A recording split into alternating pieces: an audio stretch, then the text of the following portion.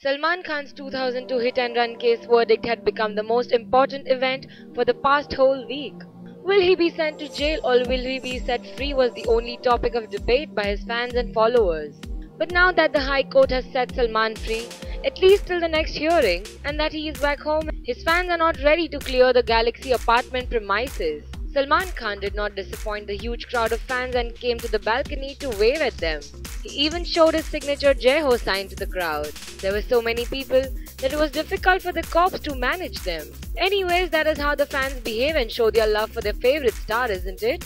Like this video, write in your comments and don't forget to subscribe to Bollywood Hangover.